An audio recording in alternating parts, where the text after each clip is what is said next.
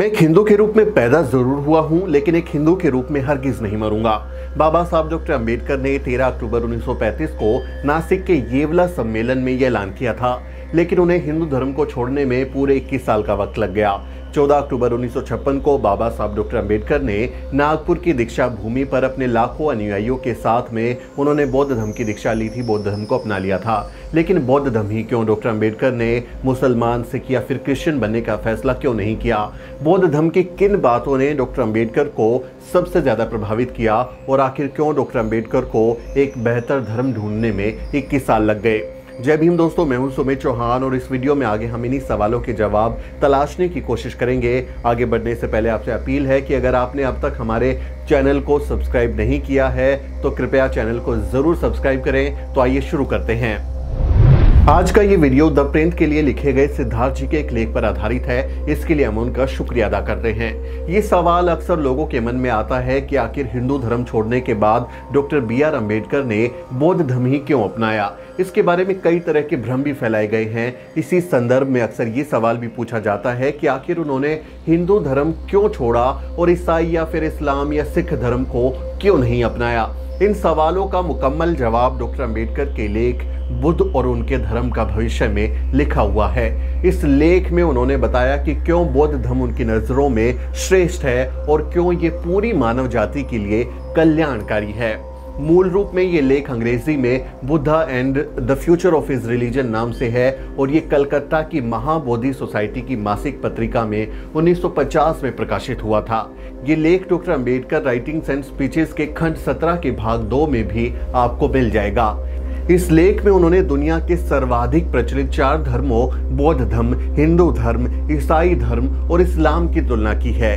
वे इन चारों धर्मों को अपनी अलग अलग कसौटियों पर कसते हैं। बुद्ध का मानवीय रूप बाबा साहेब को पसंद आया। सबसे पहले वे इन चारों धर्मों के संस्थापकों, पैगंबरों और अवतारों की तुलना करते हैं। वे लिखते हैं कि ईसाई धर्म के संस्थापक ईसा मसीह खुद को ईश्वर का बेटा घोषित करते हैं और अनुयायियों से कहते हैं कि जो लोग ईश्वर के दरबार में प्रवेश करना चाहते हैं, उन्हें उनको ईश्वर का बेटा स्वीकार करना होगा।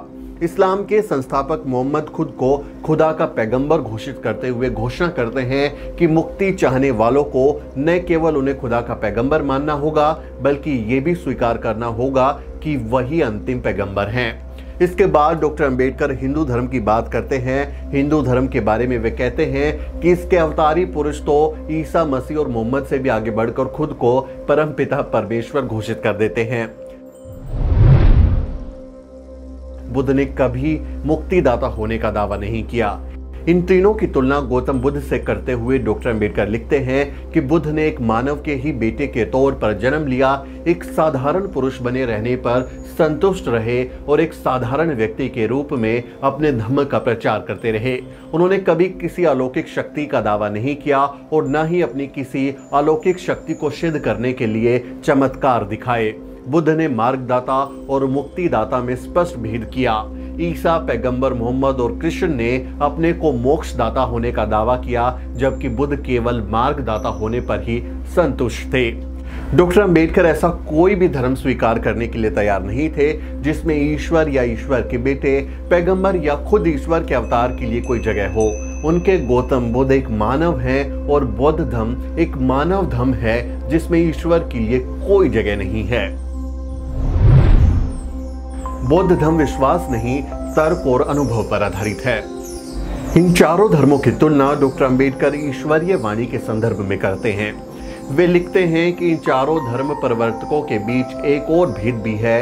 ईसा और मोहम्मद दोनों ने दावा किया कि उनकी शिक्षा ईश्वर या अल्लाह की वाणी है। और ईश्वर वाणी होने के कारण इसमें कोई गलती नहीं हो सकती और ना ही इस पर शक किया जा सकता है। कृष्ण भी अपनी खुद की ही धारण की हुई उपाधि के मुताबिक विराट रूप परमेश्वर थे और उनकी शिक्षा चूँकि परमेश्वर के मुँह से निकली हुई है, ईश्वर वाणी थी, इसलिए इसमें किसी प्रकार की गलती होने का सवाल ही नहीं उठता। इन तीनों की तुलना बुद्ध से करते हुए अंबेडकर लिखते हैं कि बुद्ध ने अपनी शिक्षा में इस तरह के अंतिम सत्य होने का दावा नहीं किया। महापरिनिर्वाण सूत्र में उन्होंने आनंद को बताया कि उनका धर्म तर्क और अनुभव पर आधारित है। बुद्ध ने यह भी कहा कि उनके अनुयायियों को उनकी शिक्षा को केवल इसीलिए सही और ज़रूरी नहीं मान लेना चाहिए कि ये उनकी यानी बुद्ध की दी हुई है। यदि किसी विशेष समय और विशेष स्थिति में इस शिक्षा में से कोई बात सटीक न मालूम होती हो तो इसमें उनके अनुयायी सुधार कर सकते हैं और कुछ चीज़ों का त्याग भी कर सकते हैं। बौद्ध धर्म में सुधार, संशोधन और विकास की संभावना है। डॉक्टर अंबेडकर लिखते हैं कि बुद्ध चाहते थे कि उनके धम्म पर भूतकाल के मुर्दा बोझ न लादे जाएँ और उनका धम्म जो है वो सदा बाहर रहे और सभी वक्त के लिए उपयोगी भी रहे। यही कारण था कि उन्होंने अपने अनुयायियों को ज़रूरत पड़ने पर धर्म को संवारने सुधारने की स्वतंत्रता दी। वे लिखते हैं कि किसी भी अन्य धर्म उपदेशक ने ऐसा करने का साहस नहीं दिखाया।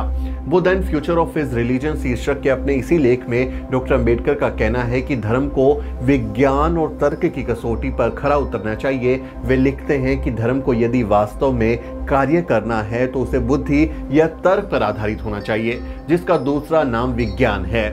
फिर वे धर्म को स्वतंत्रता, समानता और भाईचारे की कसौटी पर कसते हुए लिखते हैं कि किसी धर्म के लिए इतना पर्याप्त नहीं कि उसमें नैतिकता हो। उस नैतिकता को जीवन के मूलभूत सिद्धांतों, स्वतंत्रता, समानता और भाईचारे को मानना चाहिए।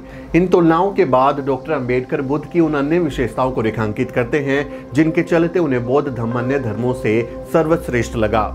वे लिखते हैं कि ये तमाम बातें शायद बहुत आश्चर्यजनक प्रतीत हों। ये इसलिए कि जिन लोगों ने बुद्ध के संबंध में लिखा है, उनमें से एक बड़ी संख्या में यह सिद्ध करने पर ज़ोर लगाया कि बुद्ध ने केवल एक ही बात की शिक्षा दी, और वो है अहिंसा। वे लिखते हैं कि ऐसा मानना बहुत बड़ी गलती थी। वे आगे लिखते हैं कि यह सच है कि बुद्ध ने अहिंसा की शिक्षा दी है। मैं इसके महत्व को कम नहीं करना चाहता, क्योंकि यह एक ऐसा महान सिद्धांत है कि यदि संसार इस पर आचरण नहीं करता तो उसे बचाया नहीं जा सकेगा। मैं जिस बात पर बल देना चाहता हूँ, वो ये है कि बुद्ध ने अहिंसा के साथ ही समानता की शिक्षा दी। न केवल पुरुष और पुरुष के बीच समानता, बल्कि पुरुष और स्त्री के बीच समानता की भी। समानता को डॉक्टर अंबेडकर किसी धर्म का सबसे मूलभूत सिद्धांत मानते थे। वे लिखते हैं कि हिंदू धर्म का असली सिद्धांत असमानता है चातुर्वर्ण का सिद्धांत इस असमानता के सिद्धांत का ठोस और जीता जागता साकार रूप है। बुद्ध चातुर्वर्ण के कट्टर विरोधी थे। उन्होंने न केवल इसके विरुद्ध प्रचार किया और इसके विरुद्ध लड़ाई लड़ी, बल्कि इसको जड़ से उखाड़ने के लिए सब कुछ किया। हिंदू धर्म के मुताबिक न शूद्र और न नारी धर्म के उपदेशक हो सकते थे, न ही वो संन्यास ले सकते थे और न ही ईश्वर तक पहुँच सकते थे। दूसरी ओर बुद्ध ने शूद्रों को भिक्षु संघ में शामिल किया। उन्होंने नारी के भिक्षुणी बनने के अधिकार को स्वीकार किया। अंबेडकर ने हिंदू धर्म छोड़ने की घोषणा 1936 में अपने मशहूर भाषण एनालिशन ऑफ़ कास्ट में कर दी थी, लेकिन उन्होंने धर्म परिवर्तन 1956 में जाकर किया। इस बीच उन्होंने सभी धर्मों का अध्ययन किया और फिर अपने हिसाब से श्रेष्ठ धर्म का चयन किया। अच्छे और कल्याणकारी धर्म की उनकी खोज उन्हें बौद्ध धर्म तक ले गई। इसलिए उन्होंने अपने अनुयायियों के साथ बौद्ध धर्म को ग्रहण किया। उन्होंने कहा था, मैं ऐसे धर्म को मानता हूँ जो स्वतंत्रता, समानता और भाईचारा सिखाए। बाबा साहब के ये शब्द आज भी उनके अनुयायियों को बुद्ध की ओर जाने की प्रेरणा देते हैं। उम्मीद है आज के इस वीडियो से आपका ज्ञानवर्धन हुआ होगा।